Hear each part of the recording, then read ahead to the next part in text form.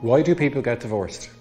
It's an unending question. Could you split it 50 50 between two people who've just fallen out of love with each other and have moved on versus a very complicated breakdown of marriages? You couldn't. Every case is so unique to its own facts that y- y- why do people get divorced is it's I, I would say that it's an unanswerable kind of question.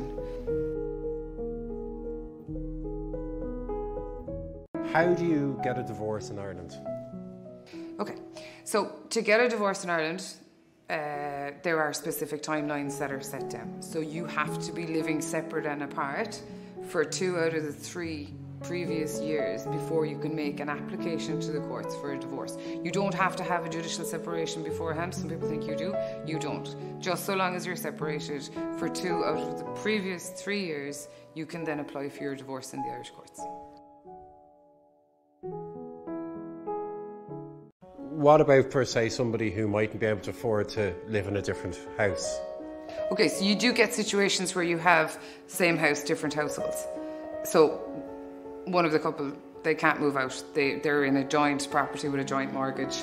There's no wiggle room in that respect. So the real world is coming into the emotional fallout of the family law situation as well. The bank is the big issue, they can't move.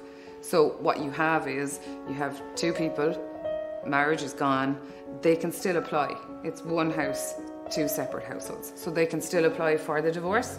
Uh, it can be worked out in that way. How long does a divorce typically take? So, how long the divorce takes, I would say, depends on the parties involved. Because it, are so many different aspects to a divorce that if you become embroiled in the small, tiny details, then it's going to take longer because you're starting to fight over the small things and you're forgetting about what your main objectives were when you came in. And I know it sounds a little bit emotionless to say objectives in a divorce, but the reality is you need to come out of it with somewhere to live, you need to come out of it with your kids looked after, most importantly, and you need to come out with a fair division of everything.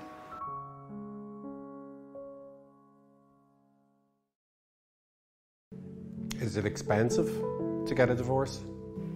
It can it can be, yes, but it's important to know that a divorce in a situation where you have a couple perhaps with no property, maybe they're just renting, that's certainly something that's quite straightforward.